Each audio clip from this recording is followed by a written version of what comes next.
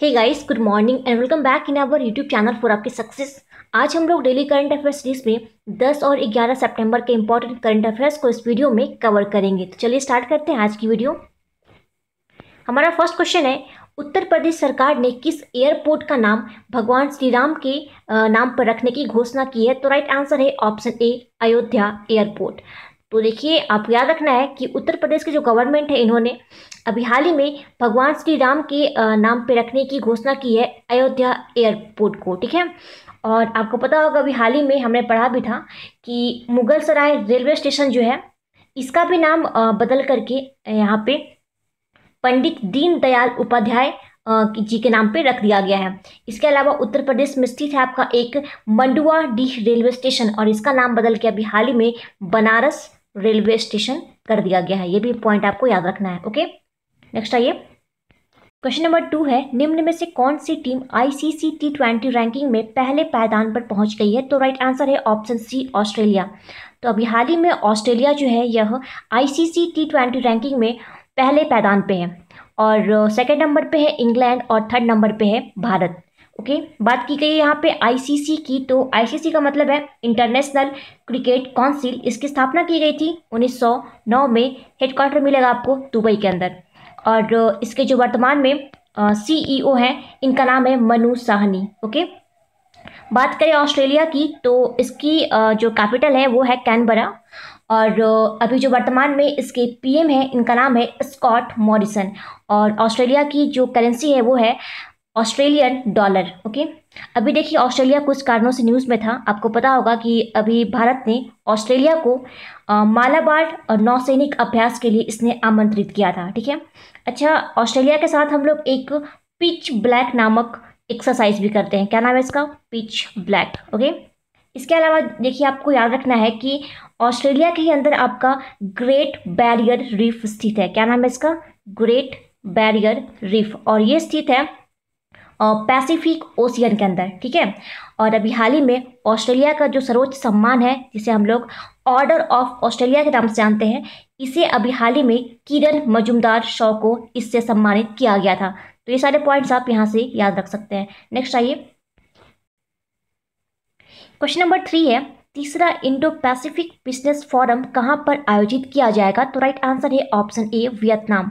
तो देखिए, आपको बता दें कि वियतनाम की जो कैपिटल है हनोई, यहाँ पर 28 से लेकर 29 अक्टूबर के बीच में यह तीसरा इंडो पैसिफिक बिज़नेस फोरम यहाँ पे आयोजित किया जाएगा, ठीक है? अब बात करें यहाँ पे वियतनाम की तो इसकी कैपिटल है हनोई और यहाँ की जो करेंसी है वो है वियतनामी डोंग। और अभी हाल ही में वियतनाम में भारतीय राजदूत नियुक्त हुए हैं। इनका नाम है प्रणय कुमार वर्मा। क्या नाम है?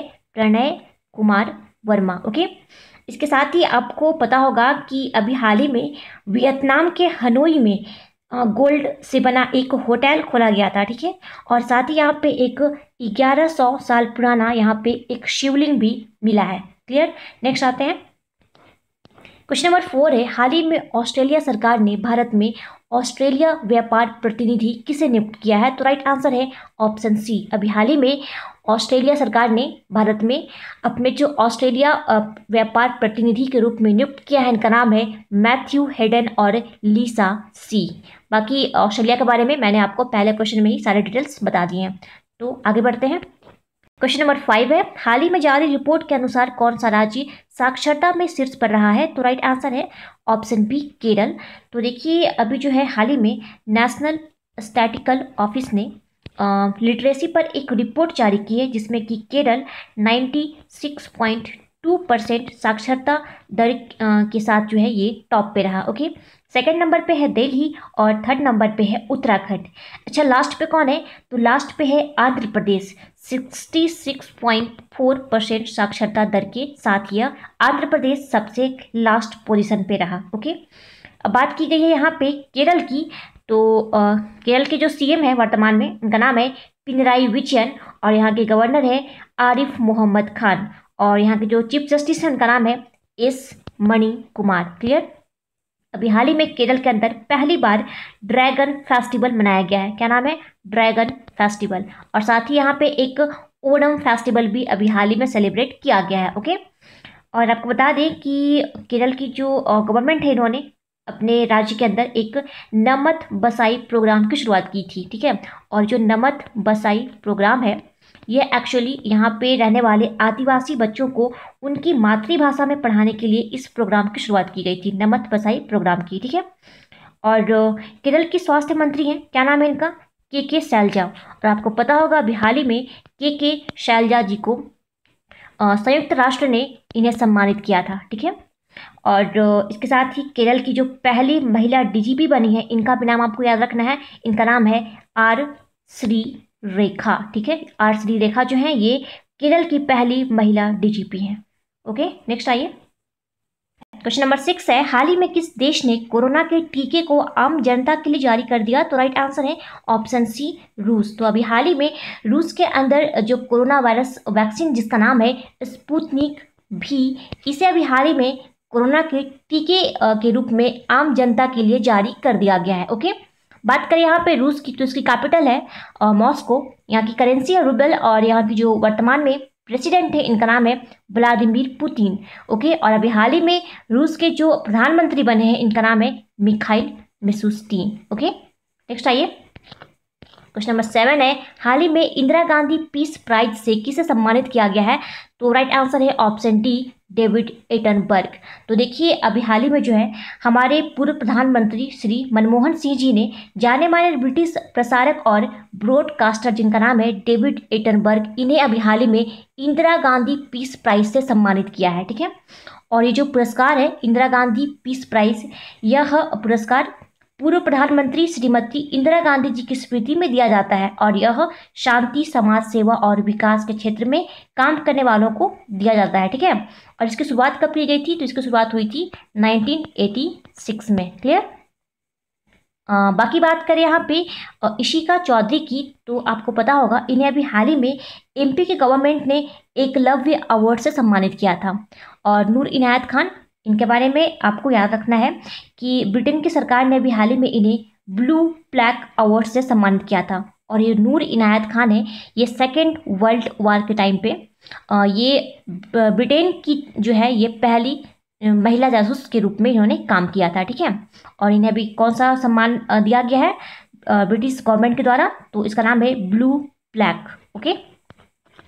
और बात करें यहाँ पे वेद प्रकाश दुदेजा की तो इन्हें जो है अभी हाल ही में infra business leader of the year के अवार्ड से सम्मानित किया गया है, वेद प्रकाश दुदेजा को। नेक्स्ट आते हैं। क्वेश्चन नंबर एट है, भारत निम्न में से किन देशों के साथ मिलकर 5G तकनीक पर काम कर रहा है? तो राइट आंसर है ऑप्शन बी इसराइल और अमेरिका के साथ। तो आपको याद रखना है कि भारत अभी इसराइल और अमेरिका के साथ मिलकर यह 5G तकनीक पर काम कर रहा है ओके नेक्स्ट आइए। क्वेश्चन नंबर नाइन है, केंद्रीय कृषि और किसान कल्याण मंत्री नरेंद्र सिंह तोमर ने कितने राज्यों में 22 पाँच समूहों को लॉन्च किया है। तो राइट आंसर है ऑप्शन सी नौ तो देखिए, अभी जो है आत्मनिर्भर भारत के तहत केंद्र सरकार जो है यह छोटे बड़े उद्योगों खेती बाड़ी और साथ ही नवाचार को बढ़ावा दे रही है। तो इसी के तहत जो है देश में बाँस की पैदावार बढ़ाने और बाँस आधारित उद्योग धंधों को गति देने पर फोकस कर रही है सरकार, ठीक है?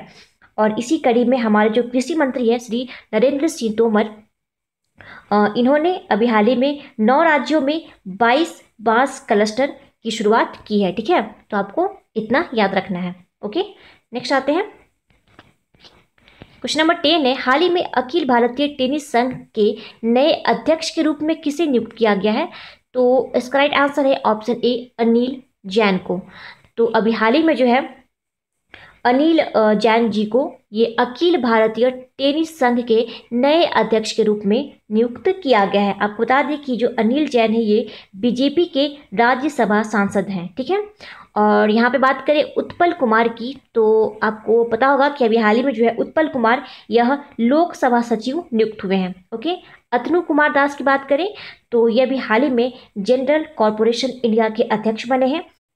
नेक्स्ट है क्वेश्चन नंबर इलेवन जमैका में किसे भारतीय उच्चायुक्त बनाया गया है? तो इसका राइट आंसर है ऑप्शन ए इनका नाम है आर मुसाकुई. तो अभी हाल ही में आर मुसाकुई जो है, ये जमैका के अंदर भारतीय उच्चायुक्त यानी कि हाई कमिश्नर नियुक्त हुए हैं। ओके बाकी बात करें यहाँ पे डॉक्टर नीना मल्होत्रा की। तो ये भी हाल ही में इटली में भारतीय राजदूत नियुक्त हुई हैं और सी बी जॉर्ज जो है यह भी हाल ही में कुवैत के अंदर भारतीय राजदूत नियुक्त हुए थे। और राजकुमार श्रीवास्तव, ये जो है अभी हाल ही में क्रोएशिया गणराज्य के अंदर भारतीय राजदूत नियुक्त हुए थे। बाकी बात करें यहाँ पे जमैका की तो इसकी जो कैपिटल है वो है किंगस्टन और यहाँ की जो करेंसी है वो है जमैकियन डॉलर। नेक्स्ट आइए। क्वेश्चन नंबर ट्वेल्व है, हाल ही में किस देश की सरकार ने सोशल मीडिया पर फर्जी सूचना और अफवाह फैलाने से लड़ने हेतु एक असोल चीनी या रियल सुगर नाम से एक अभियान की शुरुआत की है।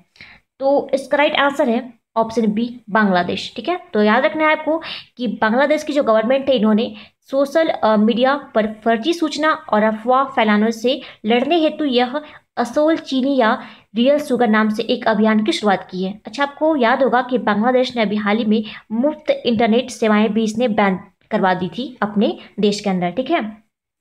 अब बात करें यहाँ पे बांग्लादेश की तो इसकी कैपिटल है ढाका। जहाँ पे आपका बिम्स्टेक का हेडक्वार्टर स्थित है। और अभी हाल ही में हमने पढ़ा था कि जो बिम्स्टेक है, इसका जो है आयोजन इसकी जो अध्यक्षता अभी श्रीलंका ने करी थी, ठीक है? ये पॉइंट जो है आपको याद रखना है। किसने की थी? तो श्रीलंका ने अभी हाल ही में बिम्स्टेक की अध्यक्षता की थी अपने देश के अंदर, ओके? और बांग्लादेश से आप और भी कुछ पॉइंट्स याद रख सकते हैं, जैसे कि अभी हाल ही में एक एम भी प्रीमियर ठीक है? क्या नाम है इसका? एम भी प्रीमियर नामक एक बांग्लादेशी जहाज़ ने त्रिपुरा के गोमती नदी के रास्ते ट्रायल रन किया था ओके अभी हाल ही में बांग्लादेश के अंदर भारतीय राजदूत नियुक्त हुए हैं। क्या नाम है इनका? इनका नाम है विक्रम दुरई स्वामी ओके और बांग्लादेश के साथ जो है, भारत की एक एक्सरसाइज होती है, इसका नाम है संप्रीति एक्सरसाइज और इस साल जो ये संप्रीति एक्सरसाइज हुई थी, यह नाइन्थ एडिशन थी, ठीक है? यानी कि नौवीं संस्करण थी यह इस एक्सरसाइज की। और अभी जो है, बांग्लादेश के अंदर यहाँ पर बलि दिए जाने वाले पशुओं के लिए एक डिजिटल हार्ट नामक एक प्लेटफॉर्म की शुरुआत की गई है, ओके? और बांग्लादेश, हमारे देश का वह पड़ोसी देश है जिसने कि डॉक्टर प्रणब मुखर्जी जी के निधन पर इसने एक दिन का राष्ट्रीय शोक घोषित किया था, ठीक है? क्वेश्चन नंबर थर्टीन है, हाल ही में नॉर्थ रोप ग्रुमन ने अपने सिग्नस स्पेस क्राफ्ट का नाम किसके नाम पर रखा है? तो राइट आंसर है ऑप्शन ए कल्पना चावला। ठीक है तो देखिए आपको बता दें कि यूएस की यह एरोस्पेस कंपनी है नॉर्थ रोप ग्रुमन ठीक है? और इसने अपने लॉन्च होने वाले सिग्नस स्पेस का नाम भारतीय मूल की पहली अंतरिक्ष यात्री, जिनका नाम है कल्पना चावला, इनके नाम पर रखा है, ठीक है? और आपको बता दें कि यह Cygnus aircraft international space station के लिए उनतीस सितंबर को छोड़ा जाएगा, ठीक है? बाकी ऑप्शंस को चेक करते हैं। देखिए, यहाँ पे जो ये मैरी डब्ल्यू जैक्सन का नाम लिखा हुआ है, आपको पता होगा कि नासा ने अपने मुख्यालय का नाम इनके नाम पर रखने की घोषणा की थी। क्या नाम इनका? मैरी डब्ल्यू जैक्सन और बात करें यहाँ पे नैन्सी ग्रेस रोमन की तो नासा ने अपने नए टेलीस्कोप जिसका नाम है डब्ल्यू फ़र्स्ट इसका नाम जो है, इनके नाम पर रखने की घोषणा की थी। नैन्सी ग्रेस रोमन के नाम पे ओके नेक्स्ट आइए। क्वेश्चन नंबर फोर्टीन है, हाल ही में किस राज्य सरकार ने देश की पहली एकीकृत एयर एंबुलेंस सेवा को शुरू किया है? तो इसका राइट आंसर है ऑप्शन डी कर्नाटक।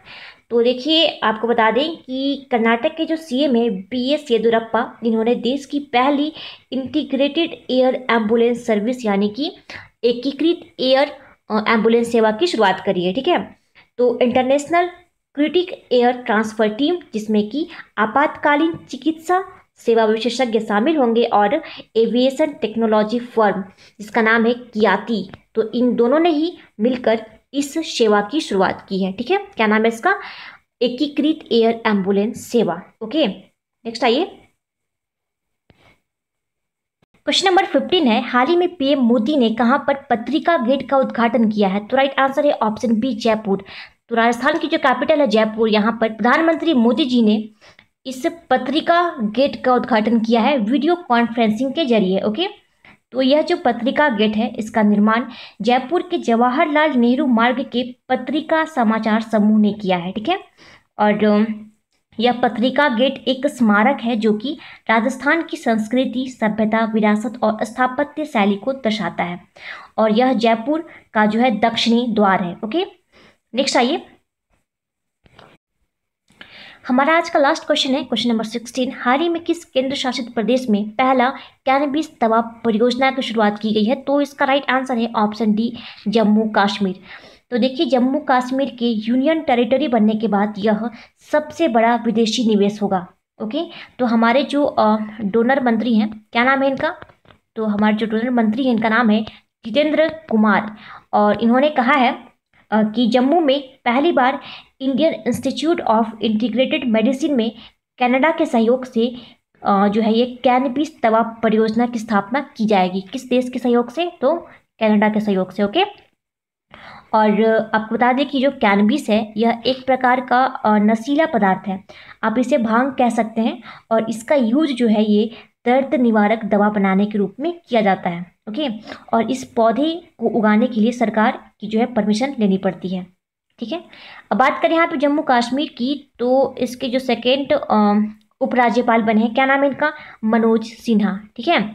और अभी हाल ही में मनोज सिन्हा जी के जो हैं प्रधान सचिव नियुक्त हुए हैं। इनका नाम है नीतीश्वर कुमार, ठीक है? नीतीश्वर कुमार जो हैं, ये अभी हाल ही में मनोज सिन्हा जी के जो है, ये प्रधान सचिव नियुक्त हुए हैं, ओके?